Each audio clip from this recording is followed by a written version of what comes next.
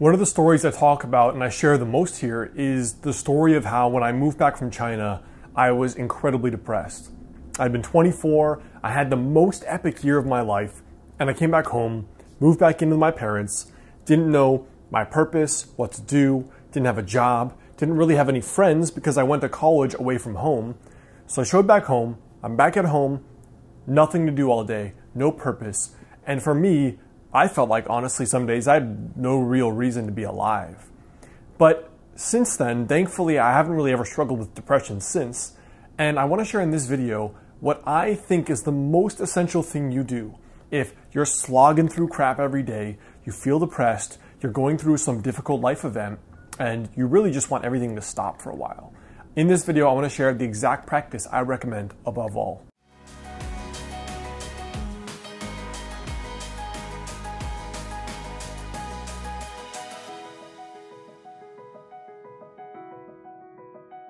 What's up, guys? Alex Heyne here, author of the book Master of the Day. Now, one exercise I did during that depressed period of life has been journaling. And I find that journaling is one of the most powerful exercises to go from confusion to clarity. Now, I've included a free journaling worksheet and free email course. It's the first link in the description box. So you can click that link, get that free journaling e course, and that'll give you some of the beginner exercises and more of my story and how I did that. So obviously, if you're having like severe depression, go see a doctor. Do what's safe. Talk to people. But if you feel like for a prolonged period of time you're going through something and you just hate life, this is the one practice above all that I can recommend that has helped me more than anything to keep momentum in my life. The practice is very simple and it's just never stop doing the foundational rituals. Okay? Never stop doing the foundational rituals that keep your life moving forward. And let me explain this a bit more. So, over the last seven or so years, about six, seven years, I've been into personal development. I've had my business for five years. And in those years, I've fallen in love, I've been dumped, I've gotten into like best relationships and the worst relationships in my life. I've been the peak of like my business is actually working, and I've been where I thought it was going to fail and I would have to go find a job again. I mean, I've been through perfect health, health crisis. I've seen so much shit in the last six years of my life, but here's the thing. In those six years, the main thing that has gotten me through and has kept me going, and most important to me, growing and continually making progress, has been that one principle to no matter what happens, every day I get up and I do the same rituals that keep my life together.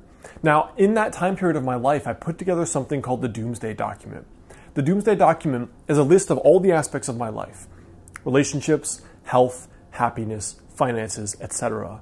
And in those sections of my life, the different facets of life, I wrote down what habits I was doing every day to have that part of my life amazing. So when I was my fittest, what was I doing every day? When I was my happiest, what was I doing every day? In the best relationship I'd ever been in, what was I doing every day? When I was the most fulfilled and sleeping the best, what was I doing every day? So I call it the Doomsday Document because if my life ever goes to hell in that aspect of my life, I can just refer back to that and go back to what are those daily rituals. But in this video specifically, I want to go more into a tactical process I'd recommend for staying on track or if someone close to you just died, you just got dumped and you wonder what the point of life is now without that person. If you're going through a health crisis and you don't know how things are going to go forward, do these things every day and I guarantee life will be incredible. So really these four practices, it's like a tripod in a sense. You have the three pegs and you have the center of it.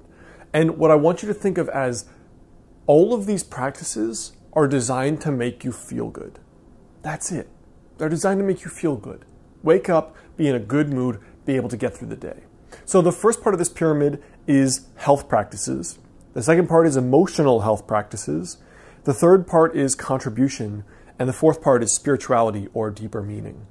So when I say health practices, what I mean is the more depressed you are, the more you're hurting because you got dumped, the more you feel that loss of your mom or your dad, the more that your business or company just failed and you feel like this massive failure, the more you need to religiously exercise five days a week. It doesn't mean like grinded out crazy workouts, but if you don't feel well and you're tired, you have to be doing the workouts, some kind of exercise just to get circulation going.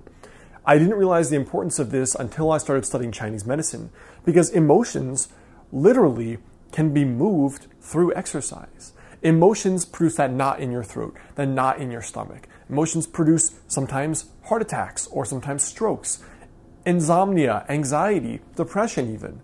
And exercise can literally, physically move the emotion because the emotion gets stuck in the body. It's like a somatic memory. So, exercise is so essential on a daily basis. The obvious of eating well, of taking time, of not rushing if you can afford to do that. For me, the emotional practices revolve around, first of all, getting everyone in your life into two buckets the ones that make you feel good, the ones that make you feel bad, and then spending more time around the people that make you feel good. That is the essence of the feel good practice.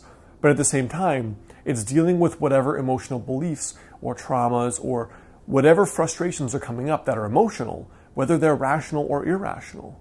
So if you have this belief that it's never going to get better, how are you going to feel better if you tell yourself every day it's never going to get better?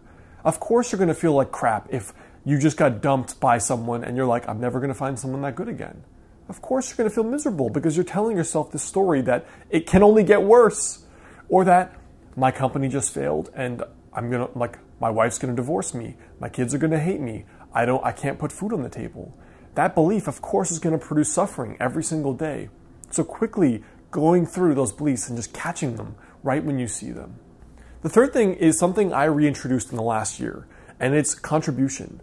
Because I find that on the days where my life is the worst and I don't want to do anything, one thing that I, if I force myself to do, it always makes me feel good later. Because on one level, if I'm going through business stuff, relationship stuff, life stuff, and I'm helping someone else out and I see how grateful they are, number one, it reminds me there's more going on in the world besides my own problems. And that often, a lot of the problems I have, they may have too, plus some. So I objectively probably have it pretty good. And I think that just contributing also moves your focus away from like all this stuff inside of you the problem solving with the anxiety, the depression, the frustration.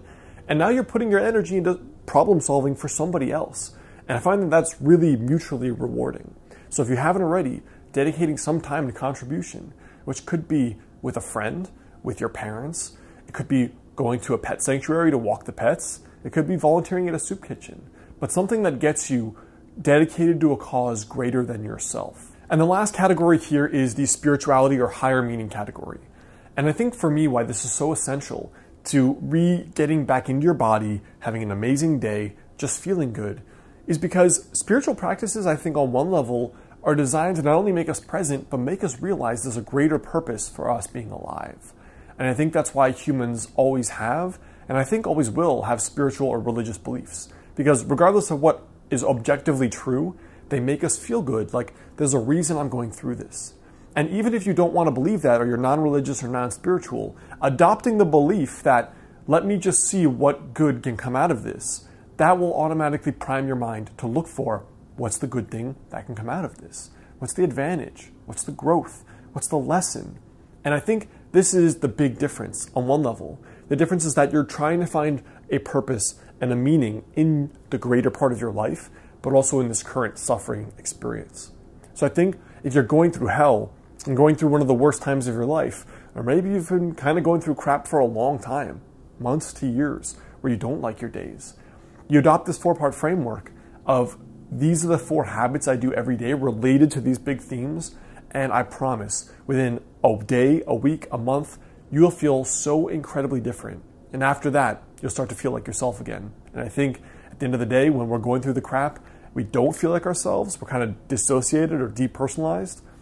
I think this is ultimately one of those things that can bring you back into your body, back into your life, and ready to improve it again.